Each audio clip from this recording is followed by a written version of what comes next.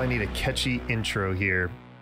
Turkey bacon. Hello, everyone, and welcome to Save It for the Cast. My name is Aaron, and I am joined by a fully stocked cast here today. Uh, we've got Jesse over here in the international aisle. Very good. What's up? We've got Billy over here in the spice aisle. Hey now. And we've got Erick over here in the meat aisle. Oh, oh, uh, you sounded super far away. Give me another. Already with this bullshit. He's got his head in the meat cooler, dude. Not like this. I don't know what's happening. It's just it's just the worst. And we've got Erick over here in the meat aisle. Hello. All right, that was that was better. Uh, also, I've been told that the meat aisle and the beer aisle are adjacent. Um, I don't know. I don't know why that came up on the cast, but that's okay. Well, they figure if you have gout, you know, it's, a, it's kind of like a two-stop shop kind of deal. Definitely. Okay, is that is beer and meat good for gout? I have no idea what no, the it's, reference it's is bad there. for gout. That's how you get gout. Oh. oh, so this is the gout unfriendly aisle. Yeah. I got it. This is after they've taken your foot. I don't know if that was intentional or not, but that just worked out uh, amazingly. So, welcome to the next episode of Save It for the Cast here. I've lost count. I don't know. This is episode seven, I believe. Uh, official episode seven. I don't know. But yeah, so today, uh, as you could probably all tell, we have a new voice on the cast today. We have our good buddy Jesse over here coming in, uh, coming in hot on the Yep. podcast. Coming in hot. That's my nickname in college. That's a good one. That's a good one. Um, so what we'll do is we'll uh, we'll get him introduced because obviously everybody should know who Erick and Billy are over here. Yeah, yeah. Uh, they've been on the vast majority of episodes. So um, we'll just get Jesse introduced. So I want to say, and correct me if I'm wrong, Jesse, if you if you remember this, you and I obviously first met through Bill. Yep. But I want to say we met. It had to have been back in 2011 with Modern Warfare 3. Uh, yeah. If you throw dates at me, I'm not going to know. Um, Okay. But Modern Warfare Three sounds about right. That sounds about right. Yeah. Because I don't I don't even remember the context, which um was like I don't know how you and and Billy knew each other, but I don't know like if we just started gaming together because we used to do like game battles and Family Guy quote sessions and Yeah. Uh, it was weird because like Bill and I had our own like tangential relationship, yeah.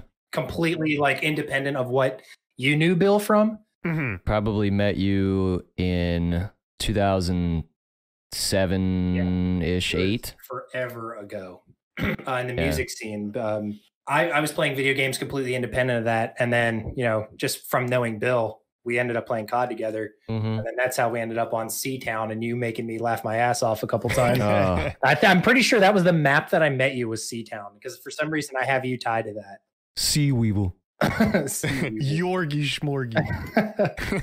yeah, I but uh I knew we met through Call of Duty obviously Yes. and we've played video games multiple times over the years and you've been in uh, a lot of different videos. You've been in the Fibbage videos, you've been in the Among Us videos where I killed you a bunch and you Yep, hated I, me. I got spit roasted that time. I did not do well. Well, I think if I actually go back to our text conversation um, and I scroll up to the top here, Oh, this will be uh, I see the first message you sent me was, I don't know how you got away so fast. yeah, yeah, that sounds about right. It, it was just a multiple time where, like, every time I was the killer, which was only a handful of times, I just found you in a dark Yeah. corner. Yeah, and like a Wes Craven movie, I ended up is as a bloody smear on the walls before I even knew what was happening. Every time I came across you, which was even better because I closed the door on you one time and I went down Yep. and I'm just like, oh no, Jesse, as I'm hitting the button to kill you. I got so pissed off because like I at that point was playing it on my work laptop and uh I didn't have a pedal then. So for me to mute my mic, I kept having to like reach up and like actually hit the button. Mhm. Plus I was confused about the controls yeah, that's and so difficult. what the fuck? that was But, like, fair. I was confused by like Here- he's up here talking about his pedal and stuff. Like, yeah. okay, Well, now you know I just kind of hit it, but like I didn't understand the controls. I didn't understand how to click and do things, and I kept getting voted out too. You fucking to be fair, to be fair, There was one round, I forget who was the killer with me, but the second we all spawned in and we could talk again, you were just like, Aaron, you filthy Rat, fucking dude. rat. I think Aaron ended up as the the killer, the imposter more than anyone else because Yeah. every time I got anywhere within eye shot of him, I was like, Aaron's gonna fucking kill me. And then like the next fucking second, I'm dead. And then when I was the killer, I swear to God, there was nobody for miles. And then I finally kill somebody, and like the whole room was like flooded with people. What was the situation uh, that I had a double kill with somebody? Uh, Was it Chris or was it you? no, it was it was Chris and I were the good guys, and you and Shrew were the bad Shrew. guys, and Yeah, yeah, Shrew yeah. killed Chris. And I went, oh, I'm like, Shrew did it, Shrew did it. And Joey's like, I don't know if we could trust Enigma. And I'm like, what do you mean? I saw the kill happen. Vote him out. No cap. Vote him out. Yep. Joey had it out for me that day. I think that was that was really funny though. Yeah. But uh, but yeah. So segueing off from the uh the introduction here. Um, first off, welcome everyone, and uh, glad to have you aboard, Jesse, for your first episode. We'll uh we'll- we'll bring you in smooth. We'll bring you in smooth. I like a rough landing. All right, as rough as can be. so today's episode is going to be very different compared to the other stuff that people have heard up to this point.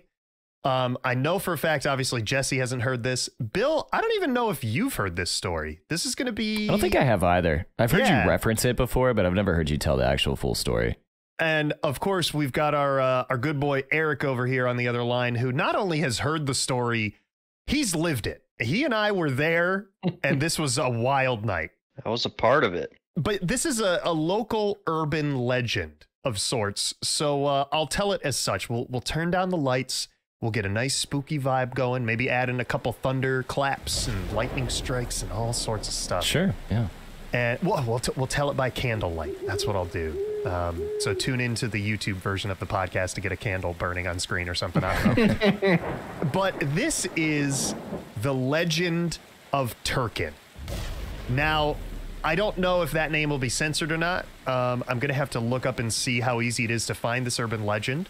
But uh, but at the very least, so you guys know who it is. The gentleman's name was Turkin. So there was this legend, and Erick, feel free to jump in and fill in some of the blanks if I get some of this wrong, or or if you have like another perspective on it. But there was this urban legend around where you and I grew up, um, probably within I would say twenty to thirty minutes of where we lived, and there was this legend of this guy who would walk up and down this road in the middle of the night. Hmm. and seemingly there was a reason, but everybody had a different reason for like why he was walking these roads.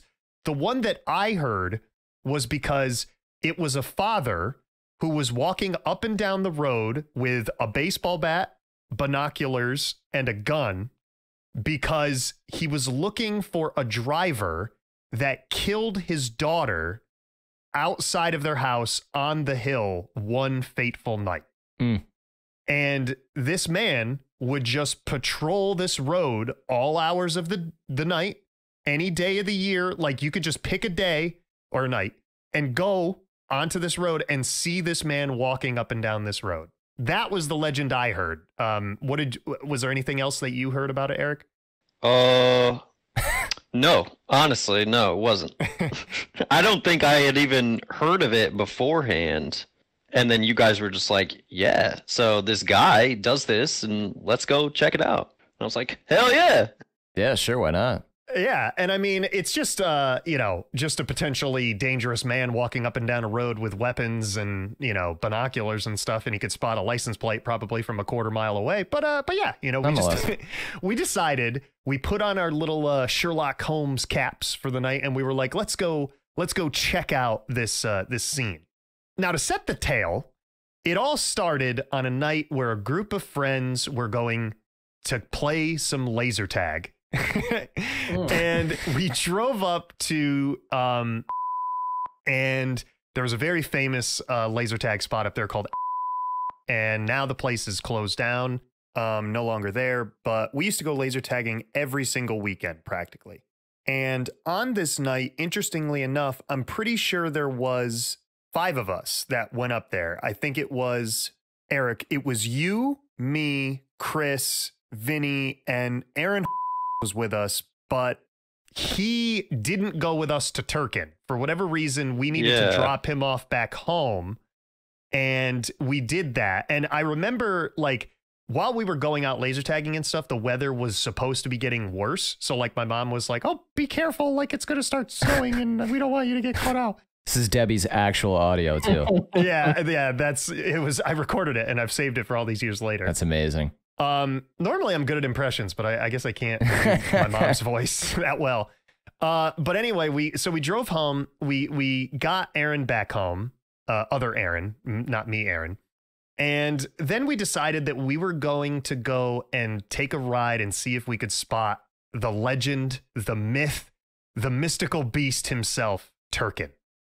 And the drive was in the total opposite direction of our laser tag adventure. So, like, we came from one direction, had to drive back home, had to go completely a different direction and make it there. And the name of the road was called, uh, is, it's still the same name. Uh, the name of the road is, Mm. Oh yeah.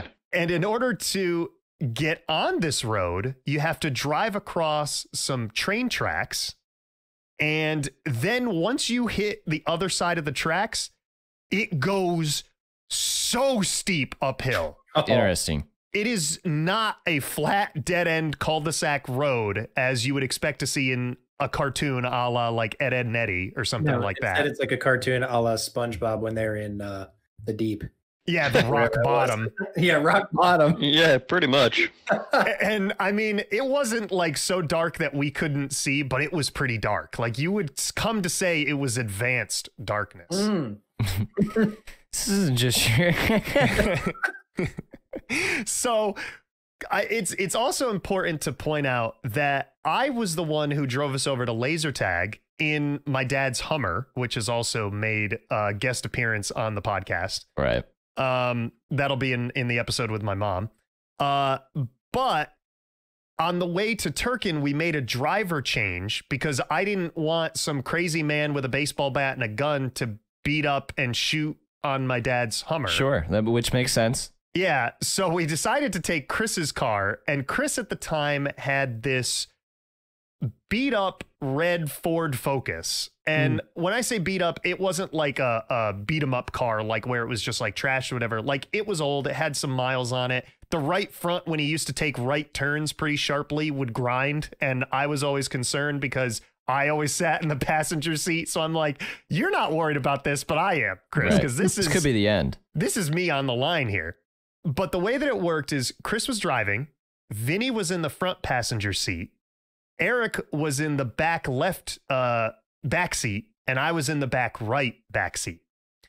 And we start going up this hill, and Chris starts taking it real nice and easy because we don't know what to expect. We don't know whether this gentleman is just going to come out and like start beating the shit out of the car, if he's going to be in front of us, behind us, whatever. So we and and I should also point out nobody in this car had ever gone up or down this hill It's the first time for everything. other than Chris. Chris had met this gentleman once before, and we'll get to that story maybe another time, or we'll we'll talk about it in a compendium episode, or we'll talk about it later on afterwards. But it isn't as important to the story as as the current events that are going on.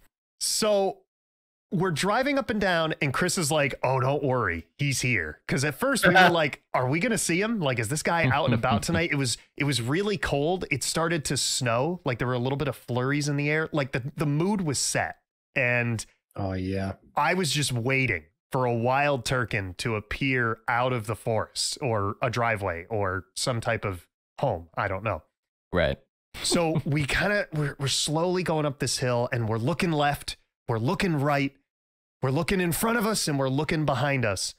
And all of a sudden, out of the corner of our eye, we see someone standing on the side of the road. And this man had a pair of binoculars around his neck. He did not have a baseball bat. However, Which is good at the time.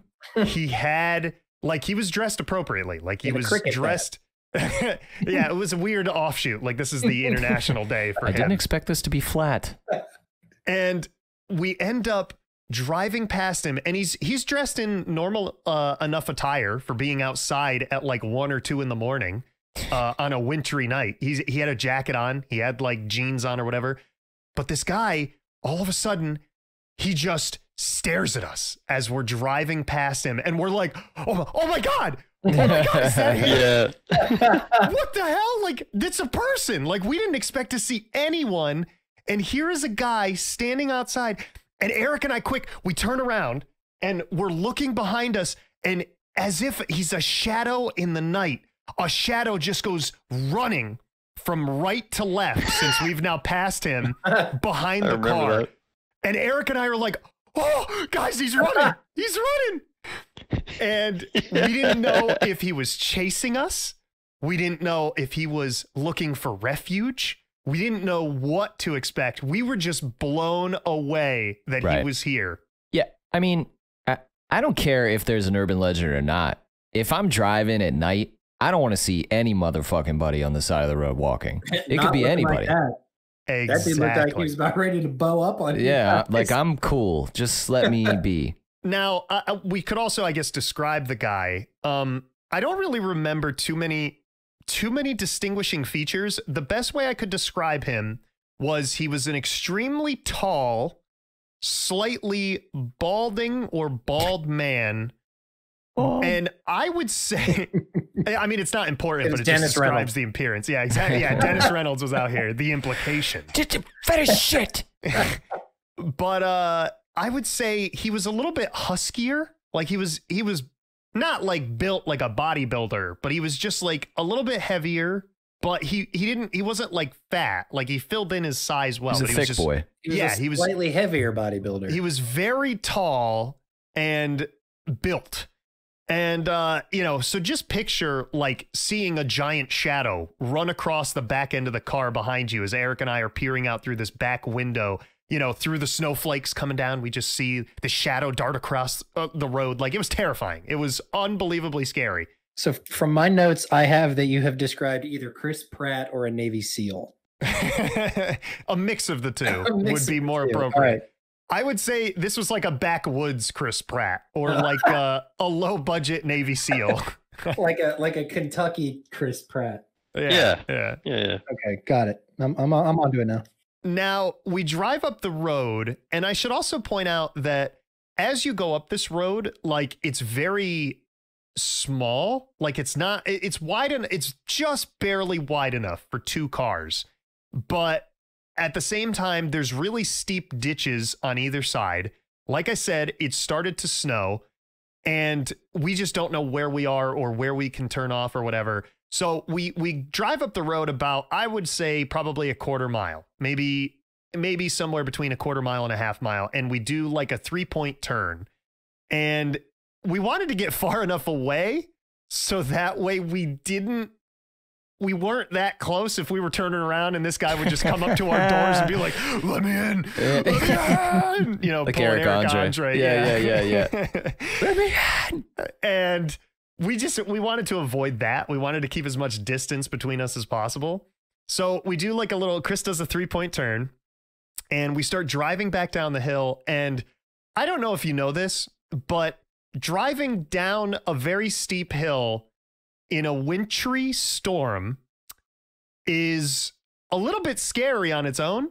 Absolutely. It's even scarier when you have an insane man potentially running around outside in the darkness. yeah, a proverbial axe murderer. And driving a rickety Ford Focus. Right. Yeah, yeah. so as if we weren't driving slow enough going uphill, we drove even slower going downhill.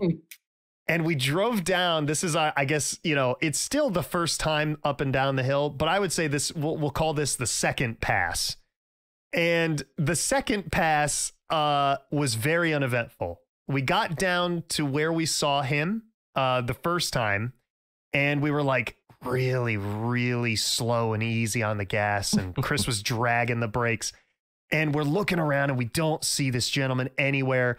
And then finally, out of the darkness, I see a shadow run up a driveway as fast as you can. Picture somebody running hurdles or sprints on a track, just going, you know, kicking it into overdrive. and this man just took off running up this driveway. And I said, There he is! The shadow! He's there! And it, it was on Erick's side, but I don't know. Did you do you remember seeing him, Erick? No, just because our our heads were on swivels the whole time. Like I was looking one way, you were looking another. So Yeah. pain. yeah, Panic you got him that time. Yeah, so yeah, exactly. I just happened to spot the shadow that time. So we go down the hill and we go all the way down to the bottom and we turn around just near the train tracks because it's the flattest part of this road. Sure. It, it's the safest because it's, you know, you wouldn't think train tracks would be safe, but it's the furthest away from this madman running around on this hill. Mm. And we finally we start our third trip up this hill, the third, or you know, the second ascent, third trip, if you will. And we are just like unbelievably on edge. We just could not believe how crazy like this was. Like out of all the events, I th- I don't even remember what night of the week it was. It was probably a Friday if I had to guess because that was our typical laser tag night. We're going out night. Yeah, but we just didn't, you know, expect to see this at all, especially at two o'clock in the morning. And we should also mention the snow really started to pick up right about now. You guys really shouldn't have been out, to be fair. To be fair, you are correct. We should not have been out. This is a very sketchy situation. Uh, I don't think anyone else knew we were doing this. It's not like our parents knew. So you know, if if a car of four, you know, uh, late teens to early twenty dudes just went Yeah. missing, no one would know. You know, the legend Yep. of of Turkin claimed another four, I guess. yeah. but but so we dr- we drive up. We, we're on this ascent, and we're looking around, and as we round this little left hand bend on the hill, there he is in the middle of the road, oh god. just standing menacingly, menacingly. Is it weird that at this point I picture Vinny not wearing a shirt? like I just feel like he's already like ripped his shirt off. He's Vinny's not like, ready to go. "You wanna go?" Like, yeah, like these hands are rated E for everyone. You coming to get it or what? I don't think any of us were in the fighting mood at, at this point in time, but I I can't speak for everyone in the car, but just You're in on the pants shitting mood. Yeah, yeah, exactly. and he's just standing in the road, and we're like, "What- what do we do? like, this, we don't have a plan. You know, we had a plan for when he was on the side of us or behind us, like Right. just drive. But when he's in the front of us, we're like, what do we do? so he sees us coming, and he quick like darts over to the right side of the road. And then as he gets there, as if it wasn't weird enough that he was just standing in the middle of the road, he just stares at us. He stares at us as we drive by, and I can feel his eyes penetrating my soul. And I was just like, I now know what true fear feels like. Sure. It just, I could not believe the circumstance and, and series of events that were happening. So we get up to where we turned around the prior time. We turn around once more and we drive back down the hill and we don't see him again Mm. and you think that that's where the story ends, but it doesn't. Because as we're driving down the hill, Chris hits a stick, probably the size of a small tree branch, Again, sounds about right. And it gets wedged underneath oh, his Ford Focus. oh no. And he goes, "Is that is that stick under the car? Is it st- what's happening? Is it stuck?" Yeah. and we said, You hit it, buddy, and it is wedged underneath there. Like we could just hear the stick dragging underneath. and my first thought or my first sentence was, I'm not getting out to get that stick. And we all were like, Yeah, no shot. It's you, Chris. It's your car. you're, you're the one who's driving. You got to go outside, brave the elements, and get this stick out from underneath your car. To quote a story that I can't recall if we've touched on or not, this is the point where I would say, This is you. This is not me. And I know you know what I'm referring to. I do. I do. And we have not gotten to the, that story yet, but we will get to Yeah. it eventually. This is you. This is a you situation, not me. Yeah, right. We Turkin could have put that stick there. We don't know that. It could have been a plan. It's like a rumble strip, Yeah. spike strip situation. a backwoods rumble strip, if you will. Yeah. There you go. And the weird thing was, and Erick, you can also weigh in on this uh, if you remember, I don't remember the stick being there on our first, second, or third passes, just on this fourth down pass. Yeah, right. I don't know. So the only thing that I could think of, it was either A, a trap by Turkin. Yep. B, the winter storm knocked a branch loose and just fell on the road, which is probably the most likely version. Nah. Or C, Mm, or C, it was Turkin's ghost and he levitated the stick underneath our car just as we were driving over it. Like we didn't see it there as we were approaching it, and he just wedged it underneath there. sure, jammed it in there. I prefer to believe it's a little bit of each point of the triangle. Um, that that it's a little column A, a little column B, a little column C.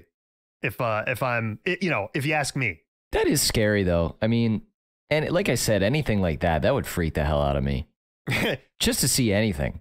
so Chris, we, we he got out of the car and he runs around to the back and he tries to like reach underneath to grab this stick. And the whole time we're in the car we're like chris he's coming! He's coming! And i've never seen him run faster in my life than to get from the back of his car back in and he th- like I don't I don't remember what he did with the stick like if he left it in the road but I just kind of remember him like picking it up and hurling it towards the side of the road just like whoosh, you know just throwing it and he got back in the car and we gun it down the rest of the hill and we drive across the train tracks and we uh, we left for home and if you think that that's the end of the story there's still even more oh god. because on our way home about 5 to no maybe not 5 maybe 10 minutes down the road. We're driving down like this major uh route in in our area and we have to turn off onto a side street to go back home but also that road is very steep uphill like a, an uphill climb as well. So as we get to the top of that hill evidently it was snowing way harder 10 minutes down the road than it was snowing on Turkins Hill. But Chris starts losing a little bit of traction and he's got the Oh, you know he's sawing wood in the front of the car if you will. Like his hands are on the wheel and he's gripping and 10 and 2 and just you know Back and forth, driving forth. driving through the snow. And as we come up to we are almost near the top of this hill. We could not have been closer to flatter ground than where we were. And the car just immediately goes off the tracks of tires that were in the snow. And we go almost car first like nose first into a ditch on the side of the road.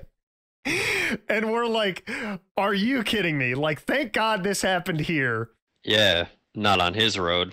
Oof. yeah not that would have been Turkins Road. hey uh turkin can you give us a push here? Like we're uh we're a Hey, can you hook stuck. the pulley up, please? So we end up getting out of the car and erick and i are in the front of the car and vinny was kind of like on the front side of the car uh because he couldn't really get out because his car door like was over a ditch kind of. So erick and i got out and we pushed the car out back onto the road and we get back in and i said chris we might have to like do a uh, do a three pointer and go down like back down the hill and get a running start up. Like i don't know if this is gonna work but that little ford focus chugged through like the little engine that could Right. and we got to the top of the hill and we made it home and we lived to tell the tale. Thing was tale digging deep. Yeah. One thing one thing I want to mention that so the road does sound kind of the one that we were on his road. It, it's kind of like a backwoods road, right? Mm-hmm. It there are not people that just normally drive on this. Like it's a very It's remote. Yeah, yeah, like just roads every once in, or cars every once in a while. And yet we went up and down this thing three times within a span of probably 20 minutes. It turns a couple heads, you know. so this guy well here's the other thing too this guy i think was probably somewhat accustomed to it just because of the lore behind his legend like chris like i said this was all of our first times me vinny and erick but when it came to chris he had already been there once like he had seen the legend for himself and the whole time he was kind of prepping us like oh just you guys wait just you wait. Like, you know, Y'all you gonna don't, see him. you don't think it's gonna happen, and it he just sneaks right up on you and he gets you, you know, like that sort of deal. Right, right, right. Um, but yeah, absolutely correct, Erick. Like this is a very remote road. There are not that many cars that drive up and down, and here we are just going up, down, up, down, and he's probably just like putting on a show for us at this point. Which is why I would expect him, like why I, I didn't necessarily expect it, but why he was probably in the middle of the road on our second pass up. yeah. He's just like, I'm gonna get these fuckers. Could hear right the here. car coming again. He's and like, just like, what's right. with the fucking disturbance once and for all? Some divorced dad just trying to make dinner. I'm just out for my nightly jog, you know, like quit it. Just just leave me alone sort of deal. But interestingly enough, if you think that's the end of the story, you would be wrong. And I can't believe I can say that sentence this many times Right. because and I took the screenshot on my phone and I'll have to see if I can find it here like while I'm going over the story but the next day or maybe it wasn't the next day maybe it was like a day later or like 2 days later or something like that I'm not sure It's a day late and a dollar short, so to speak. yeah, yeah, pretty much. But uh Erick he he comments on my Facebook wall and he said, "I I got some news for you. Like this is this is interesting. Like I need to t- you know, tell you something. I found it. Here it is. So what I'm going to do is I'm going to edit this photo and I'm going to send it into the Discord chat here. And Erick, right. do you even remember sending me this? Uh, now that you're talking about it, I do remember. So yeah, I think the next day, the next morning or something, I had told my mom we did this, and yeah, I think that's, I think that's where this is going. She kind of gave some more info on it, I believe. yeah so so without getting too far ahead of ourselves this i just posted it in general chat so Oh, if, you, go. if you go back to general chat you'll see this erick sent this on january 4th 2010 I found the truth. That's I great. found the truth about Turkin, and I was just like, "What the hell? Like, we need we need more information." It's like you're an investigative journalist. You And as you can see, this is from 11 years ago. Like, this is, it- it's so crazy that this is from so long ago. yeah. And it turns out that Erick has an inside horse knowledge about this information. So, Erick, why don't you drop the bombshell on the podcast here today? Uh, I can't do that because I don't remember. Oh no. okay. So, I will drop Oh no. I will drop the proverbial bombshell on everybody for on behalf of Erick. This is Erick's bomb. He's just handed it to me. He uh, yes, thank he, you. he just forgot the passcode. I'm gonna hit the launch codes and we're launching it right Here here. we go. Here we go. The story behind Turkin is not one of revenge. Mm. The story behind Turkin is of one of pure mystery Mm. and one that we will potentially never understand. It turns out that Turkin is just some guy that lives on this road. I don't know if he has other people that live with him, like if he if he lives with his parents or if he lives with some kind of caretaker or whatever. But this is just some guy that has some type of mental illness, whether boy. it be uh some type of I, I don't I don't really know what the um I guess the proper term would be. Like if it's a, a mental mental deficiency or some type of thing he was born with or if he suffered some sort of accident. I have no idea. We don't You could take a shot. You're not disparaging the differently abled. No, but I just don't know what it is, so I don't want to paint a wrong picture. Mm, gotcha. So, like, uh, we're all about the hard truth and the cold, hard facts on this podcast. Love it. So, you know, we don't know the actual legitimacy behind it, but it turns out the reason why Erick was able to know about this is because I don't know if it was your mom or your dad, but somebody knew the family behind Turkin. Hmm. Th- they didn't know Turkin himself, but they knew the family. And it turns out that they were just like, oh, yeah, he's just a guy and he just likes to run around outside in the middle of the night. And Doing that. Yeah. this urban legend was born. Wow. Yeah, because people kept seeing him and didn't know what the deal was. I mean, I could see that. exactly, Yeah. exactly. And people put things together like, oh my God, he has binoculars. So he's looking out for these license plates, you know, Right. on these cars for the guy that killed his daughter. And he and he did now, I should also mention this. He did not have it when we were there, but he absolutely did carry a baseball bat when he was out and about uh, up and down this road. Because the other time when Chris went with a few other friends, you know, uh, from a different friend circle that, you know, outside of our friend group, Mhm. he was carrying a bat. And the way that Chris described it was he was twirling it between his legs as if he was like dribbling a basketball between your legs. Like if you know them. Oh yeah, I know. You, I know exactly what you're talking I about. I remember him saying that. yeah. So Sure, he wasn't on acid. I don't know. I don't know. I, like I said, I don't want to speculate. You know, we're just working off of the information that we were able to discover over the course of these years and all these years later. But he, he like they they drove up to him and they actually talked with him. Like he he stood on the side of the road and they rolled down the window and they were like, "Hey, Turkin, like you know, are you are you doing okay? Like what's going on?" Oh. and he- he didn't say anything and all of a sudden he just takes the bat and he just starts going and he just starts like twirling it in between his legs and then they were like whoa get get the fuck out of here and they just drove away Wow, wow. There's a guy around here that's kind of similar. an urban legend or just no, uh just a guy. I mean, Bill Are Well, you talking wait. about? Dragon. Oh yeah, but he got caught up on a charge then. Well, I know, but I mean, there's this guy, there's this guy that used to frequent a local coffee joint around here, and this guy he had he carried like butter knives around with him, what and like he carried yeah, it was this, this like, shit was bizarre, he man. carried this like chain around and he would like walk up to people and he'd be spinning this chain and he'd yell ghost rider fire breathe and he'd like whip this chain at people What? Yeah, And it was the point crazy. thing.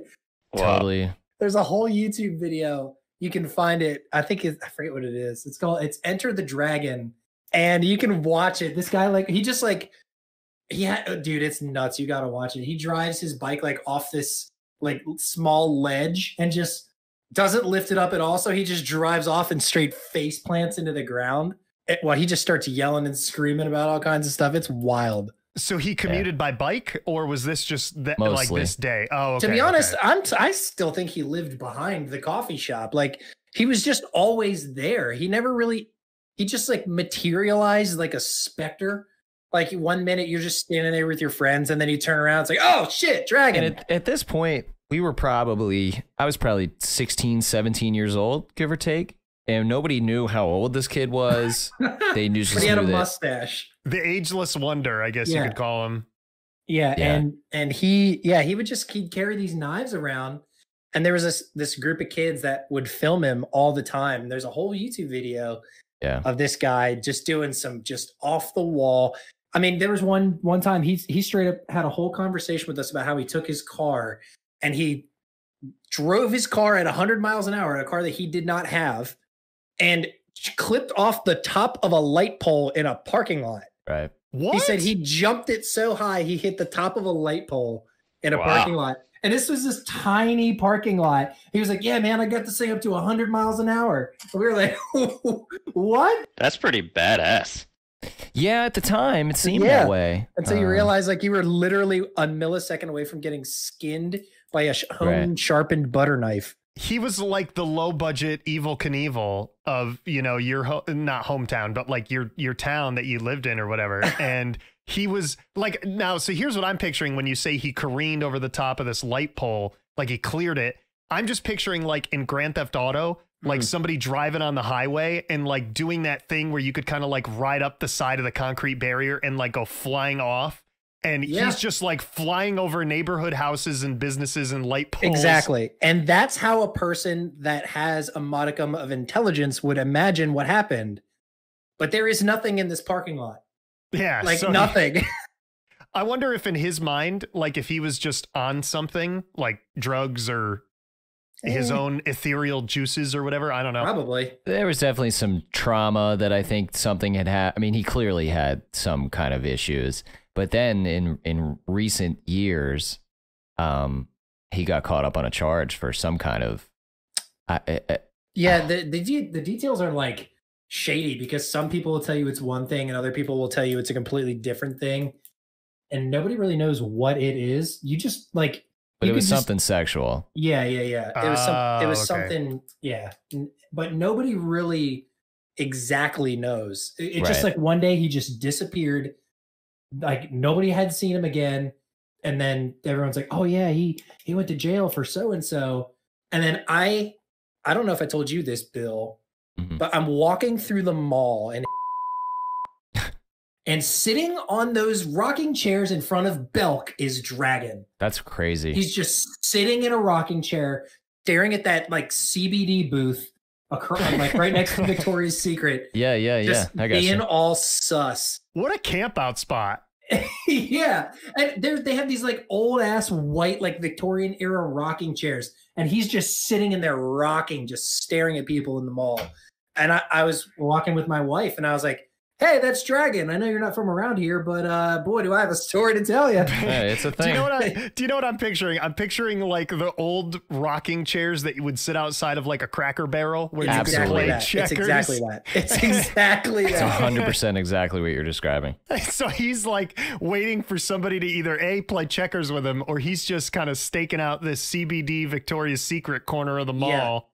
Yeah, no, I I 100% like he he's up, he's up to something like and and we would go back cuz we so, you know how women are sometimes we end up going shopping basically every weekend and I'll just see him like he's just around again and he looks exactly the same as when he disappeared like 10 years ago. He hasn't changed a bit and it is just the ageless wonder. You he can't is. Yeah, time yeah. can't stop him. He's he's just a being. I'm gonna be driven to madness by this mind altering like story that I can't get to the bottom of with him. Like I'd love to talk to him, but like he's just like gone. Like he just vanishes. And then Mm. he's sitting on a rocking chair. And I just want to be like, where you been the last 10 years, man? Do you know what I picture? I picture uh, whenever you see him, like going through your head, it's a similar phrasing to how Charlie says dragon in the Family Feud episode of Yep. It's Always Sunny, where he's like, a dragon. yeah, that's that's what you say to summon him. yeah, exactly. So, like, when somebody's like, okay, I, I gotta, you know, talk with this guy or see what's going on, uh, dragon. And Yeah. there he appears. Yeah, like just to put things in perspective, I just looked up just on the other monitor. The one video has like 150,000 views. yeah, it's insane. Oh my God. It's like a thing. yeah, it's it's crazy. Like if you watch it, like you would you would get it. Like you just you're like, what what is happening here? Being there and like witnessing and like going through this, like it almost is one of those things where you think back to, you know, a decade ago and you're just like, did this actually happen or am I making this up? Yeah. And this shit actually happened. And and the crazy part is is like you know how every town has that thing where there's like that one guy that's just that guy and they're like oh don't worry about him that's like horseback Jesus or whatever. Well that's that's that's thing like oh dra- like hey it's dragon like I, d- I do feel bad for the guy because like if he's just content living his life and he doesn't even like comprehend that he his existence is on the internet or whatever right. I just feel bad that like these kids were just filming him and now Yeah. putting like his his struggle or plight on the internet. on blast. Right. Yeah, exactly. And I, Yeah. thinking about it now, I feel exactly like that because it's just like, holy fuck. Like, I probably didn't have the mental capacity to deal with that or process it at the time. Mhm, But- mhm.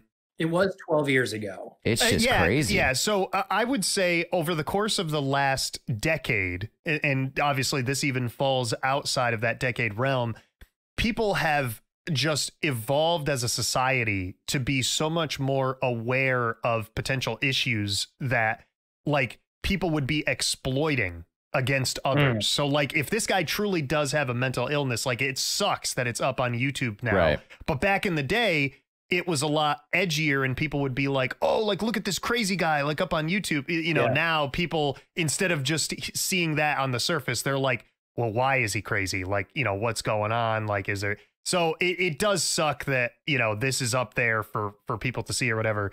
Yeah, there is a little bit more innocence to it than you think because originally what happened was, if I remember right, the, there were some guys that were. It started with some guys that were BMXing in a parking lot. They were just riding their bikes and they were filming each other. And he came up and was like, Hey, film me do this trick. Oh, so And then okay. he like he like inserted himself into the thing. I'm gonna step away real quick and say goodbye to Meg. Sorry. All right, Yeah. bongos. Bongos. it was weird because he actively sought out that's why he would always come to the coffee shop because like bill bill and i were in bands and like after shows you'd go to the coffee shop or before a show everybody would meet up. There was like these designated spots. Well he knew that and he would just like pop in and be like what's up? And like Nobody- yeah and the cool part was is like we nobody thought anything of it. It was just like hey dragons here! Like i mean we were all had a little weirdness in us but like nobody really thought anything like different about dragon than anybody else thought about anybody else. It was just like oh sweet dragons here. And then like as the scene sort of disintegrated you know like bill's band ended my band ended and the, it, it transformed into whatever like everybody just sort of bifurcated and took their own paths well dragon vanished just like half the other people. And then you know all the stuff comes out and resurfaced but dude we were like 15 16 years old you're not really thinking about stuff like that when you're young teenagers in a music scene I wonder, um, like you said, he carried multiple knives with him and yeah stuff. and chains like it was just butter knives like nothing he could ever really hurt anybody with so he must have had like a backpack or Oh, like, yeah yeah, yeah. So he would just carry around different stuff or whatever. Wow. Yeah. Yeah, and he always wore a bike helmet, whether he was wearing riding a bike or not. He always had a bike helmet on, and weird like, like big like Dewalt safety sunglasses. Don't sponsored by DeWalt. like, could you imagine if that was so nowadays? Local viral marketing campaigns have become like a much bigger thing. What if DeWalt was ahead of the game and they were sponsoring Dragon? Dragon. I don't know. They they would have been ahead of the curve because that video's got views. And there's multiple too. It's not just one. I think what even is crazier is I like before we started the podcast today, I mentioned which episode we were recording, but I didn't say to you guys like we like days in advance, like, hey, we're gonna be talking about this. Like you guys just happen to have another similar local legend story like this loaded up and ready to go without even knowing it. Like we didn't plan this. There's a guy in um, a nearby town where I grew up that it's nothing threatening or anything like that, but uh, we called him, we called this guy Neck Boy? because Oh, the way he would walk, he would just stand straight up but like cock his neck back like three inches from being like parallel with the rest of his body. So so And, he was uh, always like he had his nose turned up at people? Right. Yeah. So like we would always see him in town and we'd be like, oh, there's Neck Boy. Awesome. Strange. what a strange Neck take. boy. Yeah. There was a guy in. I don't know, Bill, if you remember him, but the guy that he was like the bigger guy, old dude with he was like bald and he would walk around with that giant wooden cross around his neck. See, I never, I heard about that, but I never saw it. Yeah, he hung out in front of the all the time. And like, I swear this guy was like Rain Man with car speeds because he could tell if you were going like one mile an hour too fast driving through. And you'd be like, I forget what we called him. We had we called him Terry, but I forget there's something else that we called him. But he he could tell if you were like speeding, and he would like slam his newspaper down on the ground and like stand up and like essentially jump into the middle of the road to get you to slow down. The speed limit's 25 through there. If you run 25 and a half, he would be like, Hey, you need to slow down, motherfucker. He would be like Right. lose, Furious. yeah, lo- like completely unglued, would just lose his mind. Was his nickname Speed Trap Terry? That'd be awesome if it was. I think we called it, I think it was Crazy Terry. I don't know. We called him something. But uh, I just remember everybody would be like, oh, that's Terry. And he was, as far as we know, there was nothing like wrong with him except for he he just didn't like speeders, I guess. He because you could go to the diner that he would stand in front of and like get your food and have a conversation with him on the corner. And he was a completely normal guy, but then would like like you'd flip a switch if you were in the middle of a conversation with him and somebody was speeding it would literally be like a Jekyll and Hyde moment where he'd like tear his shirt into ribbons and then like run into the street and like try to bang on this guy's car. Like nobody really understood what that was about. And I, I think a lot of people were just too afraid to ask him because they didn't want to get their head ripped off. Right. It it almost reminds me. I don't know if any of you guys listen to it. I I, it, I just found out about them recently, but they have a podcast now. They used to be on Australian radio. Their names are Hamish and Andy, and they're really funny Australian comedy duo. And uh, like I said, they they have a podcast now. But they had a segment on their radio show and podcast for years where it was like these strange skills and they would have people write into the show and they would talk about like oh yeah i have this ridiculously cool or weird or strange skill like where i could draw a line and tell you how long it is like to the millimeter or he i could look at weird. like yeah like i could look at a line and tell you how long it is there was one guy he said i could tell you someone's shoe size just by a glance like if they Hmm. walked by me um, the best one was, and you could look this up on their YouTube channel. Uh, it's called Hamish and Andy. It's called Water Pour Expert. And What? it was this kid who he was at his job one day, and somebody said, like, um, I could, you know, how much water is in here or whatever. And somebody poured it into like from one cup into a glass or something. And he correctly said like it was 100 milliliters of water or whatever. So That's they weird. brought this guy on the podcast and they had him blindfolded and they did a water pour test. And he got it wrong three times for three. And he was way off, but he got closer as it went on. But it was just, well, it, it reminds me like Speed Trap Terry here, as we've so called him. Yep. Speed It trap reminds- Terry. Love it. It That's it. reminds me of like that weird and obscure skill that they would have on their on their podcast. That is So- bizarre. Speaking of weird and obscure skills, I have just recently set a world record, Oh, and I don't think anybody here is aware of it. Uh, but is this breaking news? Like on my podcast? it is. Uh, Holy no, shit. It has not been announced, What a time. But Guinness is coming to verify. Uh, they, it'll be about 12 weeks, unfortunately. But I set a world record. are you serious? I, I am serious. I set a world record oh, wow. for drinking a Capri Sun faster than anyone. no way. I'm not kidding. oh my god. I'm not What? kidding. I'm not kidding. So there's a radio show that I listened to, and they just said that oh this this guy set a world record for drinking a Capri Sun in so such and such a time, and I was like, that's bullshit. I can beat that. Well, anyway, it was a lot harder than I thought, but he did it in 10.56 seconds or something like that, 10 seconds. And because you have to start with the straw in the plastic attached to the Capri Sun, then you have to take the straw out, puncture the Capri Sun, and then drink. Oh, That's why it's so hard. So it took me a whole box of Capri Suns. But after my wife came home and thought I was having a stroke because I was sitting there just shoveling Capri Suns. plus the sugar going through your veins is like insanity. it was it was not great. You're hopped up on Capri Sun. It was, but man, if you could have seen how fast I shot out of my seat when I slapped the because I have one of those little hand cup Yeah, I timers. was- Yeah. I need to know. I had one of those when I when I hit it, and I was like, "Holy shit, that's six seconds! That's a world record!" and and it, I blew it away. I blew it away. And all these people called into the radio show the next day, and they were like, "Dude, I did it in like ten point four. And I'm like, "Are you guys serious? I'm killing it!" So I submitted it to Guinness, and they sent me an email, and they're like, "In 12 weeks, we're having somebody come out to verify." so they're gonna give me that plaque, and I'm gonna wear that. I'll tape it to my shirt. I don't even give a shit. oh my god, that is incredible. Yeah, that's I amazing. can't wait to see a video of that. Cannot wait. Yeah, I, if they, I did it. Uh, I think it was last week, and I I submitted it, and they're gonna send somebody out. They said 12 weeks, but When it is- yeah, I'm gonna put a video, and it's it's awesome. Dude, I am so happy for you. That is Dude, I- so awesome. That's outstanding. I've always wanted to be in the Guinness Book of World Records, what and an every obscure thing, too. I know, Like- like what. But the worst part was, is he was like, "Yeah, this record didn't exist," and I just did it, and then submitted it, and they were like, "Yep, that's a world record." So I'm gonna take this guy's thunder from him just right away.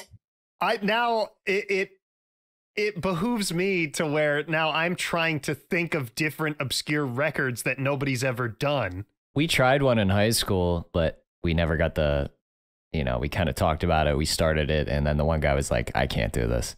We were gonna set the record for the longest, um, the longest Monopoly game. Oh God! Oh, how, what's the record, or what was it? It was at the time. I thought it was not that crazy. It was like, you know, completely reasonable, like six, seven hours. Oh. Oh, So we had decided like what if what if, you know, you could do it and keep it prolonged for like a day, like do a full 24 hour, you know, Monopoly game.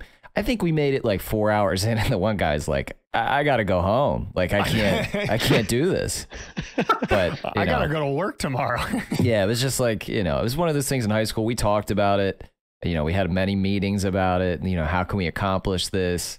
Um, and then the idea was, you know, towards the end of it, you could, you know, we'd relocate. Like we wouldn't have to be in one space. Like uh, to make this, you know, to put it in perspective. So we went away. The one kid's dad took us to Ocean City for his birthday, and we took. They had like one of those Econoline 350, you know, 15 passenger vans, and we took the the Monopoly board in the van on the trip. So we played like on the highway and the whole way down. Oh my god. And we carried the board into the hotel, the whole nine yards. But it just never. It was just like I can't do this. I'd be was- ready to kill myself. Yeah, it was lasting the car ride down, and then you had to transition from car to hotel room. Yeah, yeah. So basically, like we were rolling in the lobby as somebody was checking us in. the, I can imagine the hotel staff. Are they are they playing Monopoly on the top Right. of a suitcase? Like Can I what the play hell's Monopoly happening? right now? I But, wanted to yeah. see him take a like a flight to Australia. Go, go through go through security with a monopoly board. You can't bring that little gun in here, sir. Sir, this is a top hat. Get off your high horse. I thought it would be fun, and I still think it would be a cool idea. But yeah, just yeah, because that's got to be the old record. I wonder what the new record would be. Oh, I'm sure it's been shattered. There were there's some of the ones that I had tried, and I was like, why would anybody do this? Was like most bars of soap stacked, Mhm. like weird crap like that. But the guy had like he bought these special bars of soap that were like as thin as a piece of paper, and he stacked like Oh. hundreds of them, and it's like, and they had to be wet. They couldn't be dry, so they were just slipping and sliding, and then some of them are really dumb. Some of the ones that I tried, like the guy, it was like most dice caught blindfolded or something, but it was just his partner That's throwing wild. the dice into his hand. Huh. But it counted. But he did. He was like double fisting him, and he was like catching like a dice a second. And he, but all he did was hold his hands out, and his partner was really the one that was like tossing the dice right in his hand. I just don't even know what the strategy would be because you either have to have insane reaction time to close your hand and grasp the dice, or you have to have like a partner that's giving you like a heads up, like ah, you know, like catch the dice when I do that or something like cue. that. Yeah, and it's got to be. Could you imagine, like it, like you said, if he's double fisting, like if he's catching in both hands, he's just like. yeah, it, some of them they look they're a lot harder than people think. Like when I did the Capri Sun one, like it took me probably 15 I can't times believe it. to drink to get a Capri Sun in less than 10 seconds because poking that fucking straw through that tiny ass hole, dude, and you have to drink it through the straw. Like you can't Yeah. you can't do like anything that I was like I tried stabbing the just trying not to hit the hole, just stabbing the pouch and then Right. flipping it upside down and squirting it in my mouth. But then the straw's at the top and the liquid isn't, and you're not drinking it through the straw anymore. So what classifies a finished run? Is it like when you hear the Yeah. like yeah, yeah, yeah, okay. essentially like they kind of determine like if there's like I don't know, like a tiny bit, I guess, in the bottom, they're not going to care because the guy had a little bit left in his and they gave him the thing. So I, I mean, I'm gonna be like, look, if you don't want me to beat it by six seconds, I can drink everything in this pouch. you can maneuver the straw seconds. around Yeah, almost well- like an anteater would be sucking up ants. yeah, like you you're kind of missing the point here. Like I beat it by six seconds. It's not like it's even close. That's insane. I well, dude, much much congratulations. You know, you. uh, good luck with the certification. Hopefully, you'll have to. What you'll have to do is you'll have to post us, uh, like a post a picture when it happens, and we'll share it on the social Oh, media yeah. for the podcast. Oh yeah, I'm gonna get the video of it and pictures, and it's gonna Yes. be great. Send me the video, and that'll be like when this podcast goes live. This particular one, that'll be the midweek post, or like a day later, people will Yeah. just see you sucking down a Capri Oh Sun. hell yeah. Yeah, that'd be awesome. I can't wait. I'm gonna put the plaque in my basement. It'll be such a great conversation starter. It absolutely would be. By the way, have you seen my plaque? yeah. I don't I'm know a if world record holder yeah, here. I'm a world record holder. Uh, Over here, That's just got to suck this liquid down. On a scale of one to 10, one being not so bad, 10 being unbearable, how bad was your stomach ache after your initial trial run of sucking So- down these Capri Suns? The stomach ache wasn't that bad. It was the violence I did to my toilet. That was that was I don't know what it is, but Capri Sun is basically just human Drano. So it, dude, I I felt like and I, I'm glad I have a bidet for this exact reason because it was a mess. oh, Like it was like you get in like so I I tried them like one after the other. So by the time I finished the box, I probably had like I don't know, 800 milliliters of Capri Sun. in my stomach. That's way too much. like way That too much Capri so Sun. much. yeah. Yeah. I had like a pulsing headache in the back of my head. Uh, I felt like somebody was like clamping me with a wood vice oh for, my. for the longest time. So wait. So here's the other important thing. What flavor of Capri Sun was your flavor of choice? Okay, so they only had two, and the one I didn't want because it had it was something coconut related, I think. But I didn't. It was like tropical breeze or something. I wanted. They had. I forget what the one we always drank when we were kids. Whatever the red. The, I don't know if it was strawberry or fruit punch. I think it was fruit punch. Uh, but they didn't have that.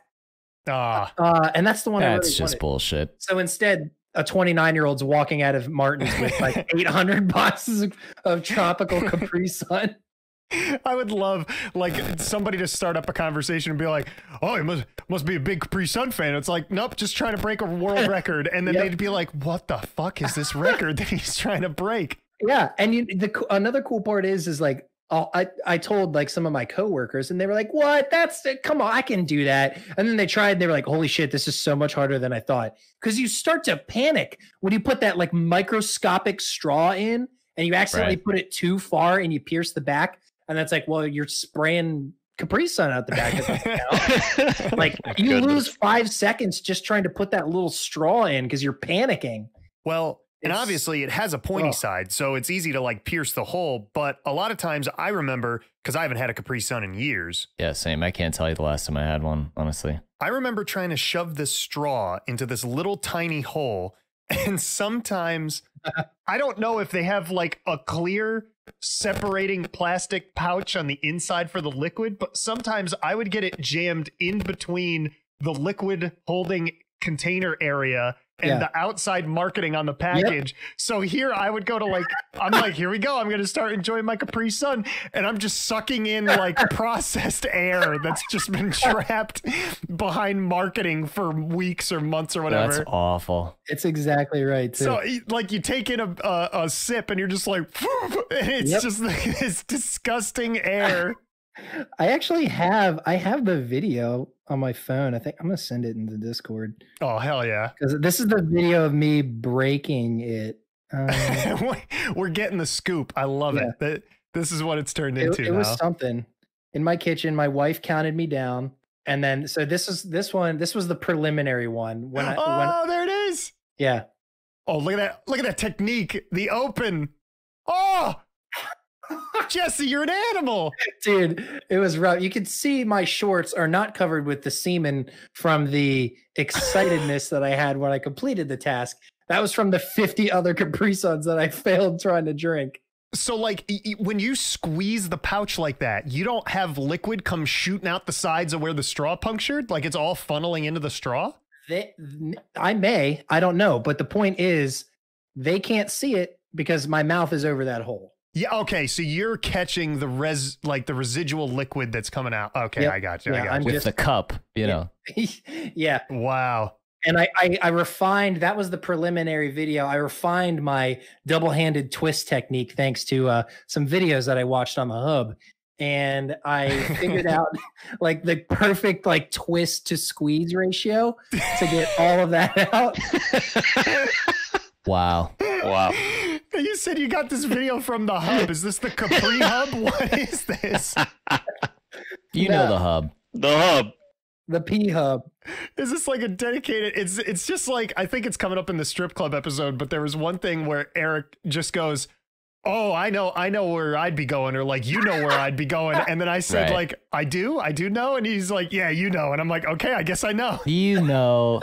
That's incredible. Yeah, that was uh, that was one of the better runs, and then I got the more accurate timer that I finally found in a box I had from when the cup stacking was a big thing. That's what when you said you were timing it, I'm like, you beat me to it. I was gonna say you have this cup stacking mat that you use to track your your time. Absolutely, That's incredible. it's much more accurate because you know it just makes more sense. But I lose time on picking up the Capri Sun. But whatever. hey, hey, I mean, it seems like you got the technique down pretty, you know, well pat here. And Yeah, I mean, it's enough that I beat the world record. So I'm excited for Guinness to come and watch me suck down that Capri Sun real fast. well, I can assure you that our our panel of guests here and me and the audience, we're all rooting for you, buddy. We're, I we're can't rooting wait. for you. you suck that little thing, man. oh, yeah, dude, you, you know it. Well, uh, we're already over the hour mark. It just seems like it flies by. It's it's insane. So I won't be able to debut all of the new segments that I had for today's episode. However, I will debut the one that I'm most excited for uh, to close out the show. And this is a new segment. Um, I may try to come up with like a jingle or something before the episode launches, but the segment is called, in all caps, What is it called? Or what is this called? It's something like that. And uh, Sounds the- good.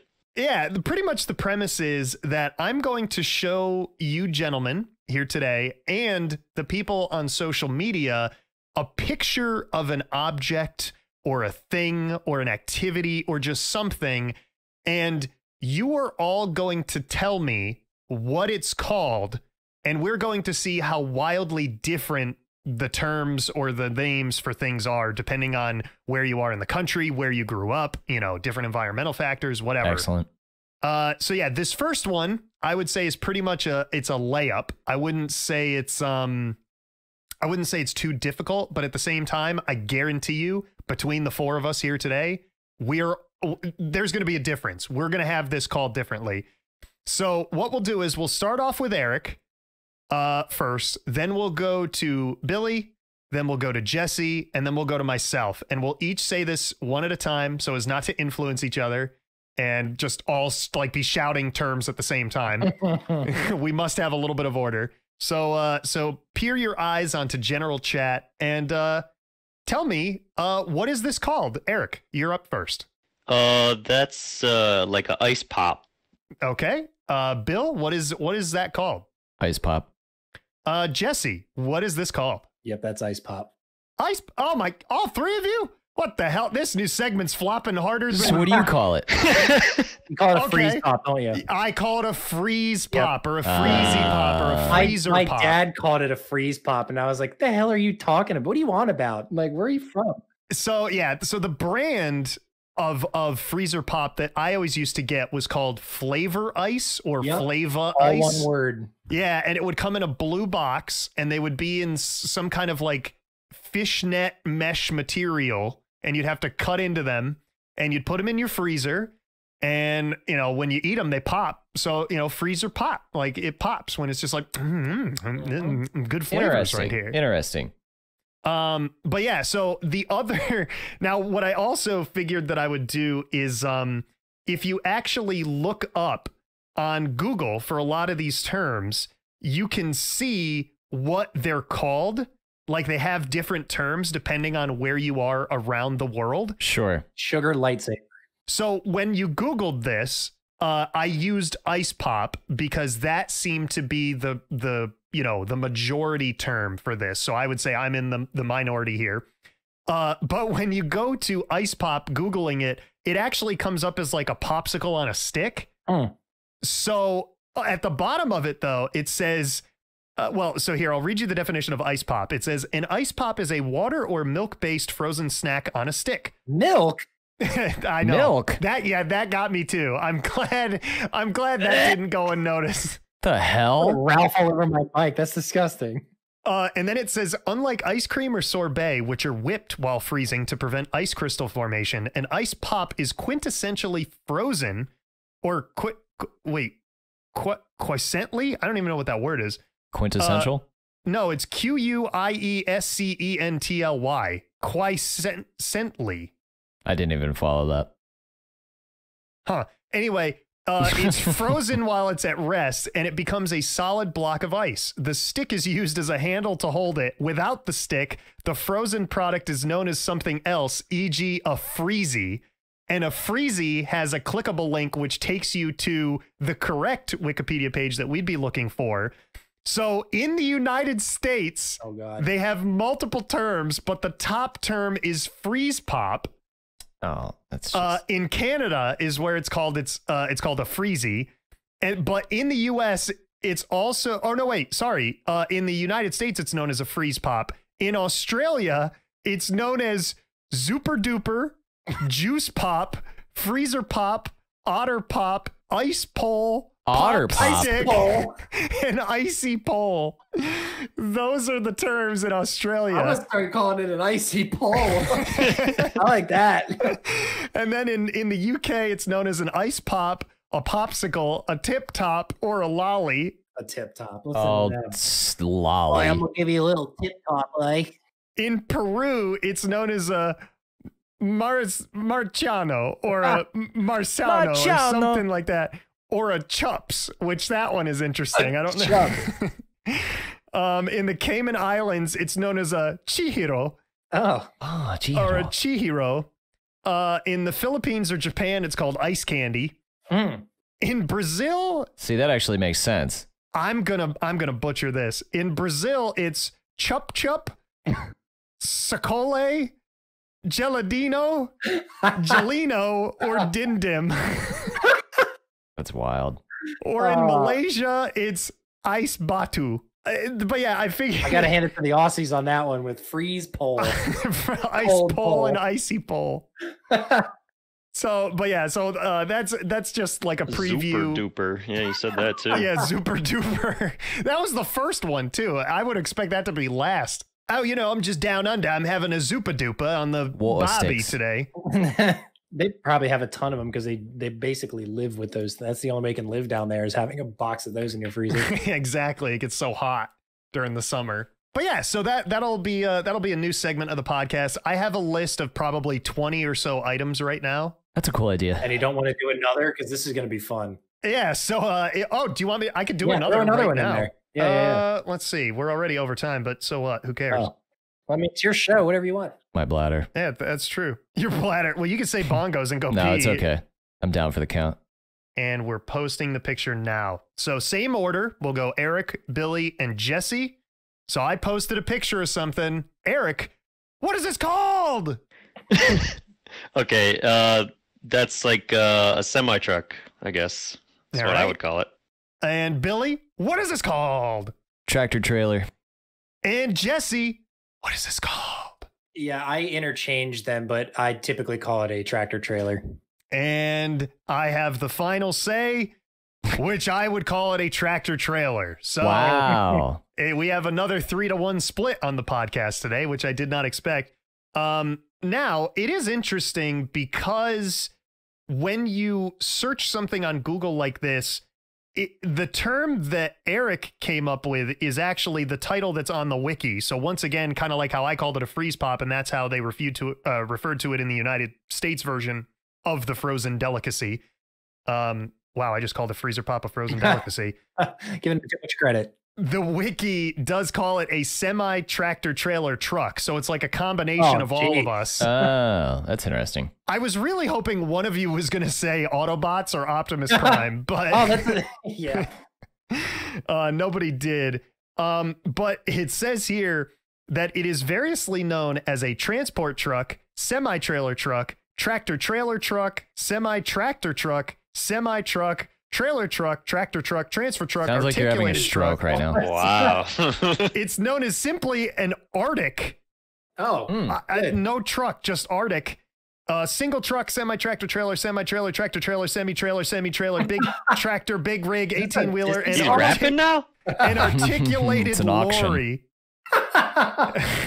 Yeah, I've heard actually. So to to tie this back in, uh, Joey Balfour was talking about it on stream one day, and they were. I, eventually, I said, "What the fuck is a lorry?" Yeah, that's uh, and he UK, said, "Oh, yeah. you know, mate, it's like it's like a lorry." And I was like, "No, no, I don't know." it's a truck. yeah, so I looked it up, and it's it's yeah, it's a lorry. a good way to spice this up was you should post pictures of stuff like this and then say wrong answers only. Yeah, well, yeah, that's true. Uh, I would expect, like, oh, yeah, that will be a good compendium to the podcast. Like, I can actually post this picture before, uh, like, it goes live on social media, just randomly. Like, somebody's just going to see me post a picture of this truck. And I'll just be like, wrong answers only. And then I'll compile it in a poll and see what people say. and then you know we'll just we'll take our right answers and laud them over their wrong answers. That's what we'll do. Yep, absolutely. Because 100% I would have said Autobot. Autobots roll out. Let's roll. Wow. Well, that was, in my opinion, a fantastic episode of the podcast. So I guess what we'll do is we will uh, we will end it there. Um, let me see. I need to think quick on my feet here. Quickly, quickly. Okay, pick um pick an exhibit at an aquarium. Jellyfish. The Dolphins. Stingray. All right, so thank you everyone for listening to this episode of Save It for the Cast. Uh, this was a, a doozy of an episode. It was really, really fantastic, and I'd like to thank you all for appearing on the show. We've got Jesse making his first appearance. Uh, I want to thank you, Jesse, um, standing over by the jellyfish tank. My pleasure. Uh, and then uh, thank you, Erick, for uh, sharing your insights to the Turkin story. And we got you chilling way over by the dolphin tank. Hey, thanks. And Billy, once again, thank you for appearing on the show. And we've got you over by the uh, petting tank where you're next to some stingrays, if I'm not mistaken. Rest in peace, Steve Irwin. Have a great week. Be kind to one another. and uh, I was actually cleaning like one of the penguin tanks and I fell in and drowned. Okay, so uh, that's it for this episode of Save It for the Cast. Remember to follow us all on the social medias for the show. It is Save It Cast is the username. Username. Uh, wow, we have u- uterus names now for the podcast. Uh, the username for the podcast, um, but you can also just search Save It for the Cast. Uh, the hub website, I've actually made a super easy link. You can just go to bit.ly uh, slash save it cast, which is bit dot ly slash save it cast, and that'll take you to the main website page for the actual show. All the social medias will be linked from there. And uh, yeah, this has been a doozy of an episode, and we'll catch you all on the next one. Later. Bye.